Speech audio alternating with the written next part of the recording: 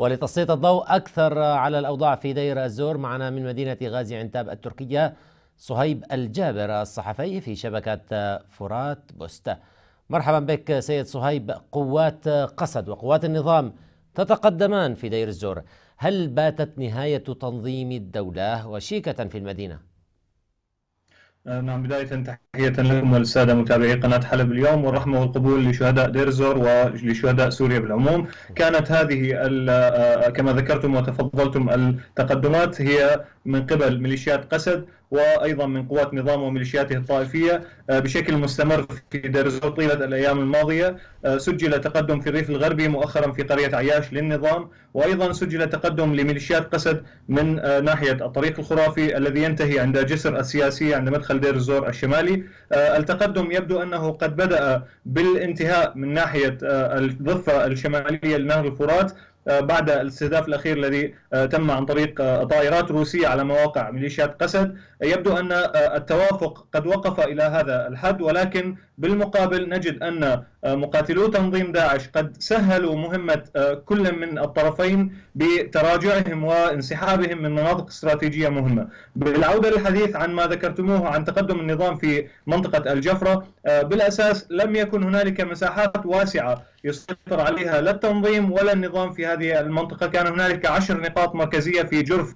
آه، على جرف نهر الفرات. هذا التقدم يعتبر فقط في هذه النقطة التي لا توجد أصلا آه، ولا ترى على الخريطة ولكن النظام دائما يحاول أن يبين أنه ينتصر ويتقدم ويحقق انتصارات وتقدما استراتيجيا. ولكن الحقيقة هي أن مقاتلو تنظيم داعش ينسحبون ويقدمون له هذه الأراضي على طبق من ذهب.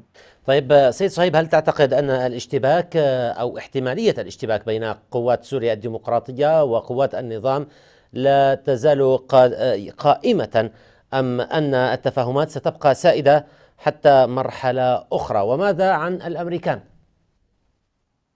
حتى اللحظة ما يبدو أو يظهر في ساحة المعركة بشكل عام في دير الزور هو أن هذه التوافقات وهذه الخريطة المرعبة لتقاسم النفوذ في دير الزور قد بدأت أو شارفت على الانتهاء عند حد ما وصلت إليه هذه التوافقات ويتوقع أن يكون الفراغ الذي هو موجود حاليا في المنطقة الشرقية من دير الزور يتوقع أن يدخل على الخط فصيل من أبناء المنطقة سواء كان من آه، آه، ميليشيات قسد أو تابع لميليشيات قسد لشرعنتها أو محاولة شرعنتها أمام المجتمع الدولي. أو آه، من الممكن أن يكون فصيل من المقاتلين من الجيش السوري الحر المقاتلين في البادية الجنوبية. نود نود التنويه أن هذه الأيام هي أيام كارثية بالنسبة لأهالي دير الزور طيب. دائما وباستمرار تصلنا انباء عن مجازر ترتكب في ظل هذه التقدمات والتوافقات الدولية التي يكون المدنيون ضحيتها دائما وصلتنا انباء عن مجزرة ارتكبت البارحة في البوليل بالمعبر المائي أيضا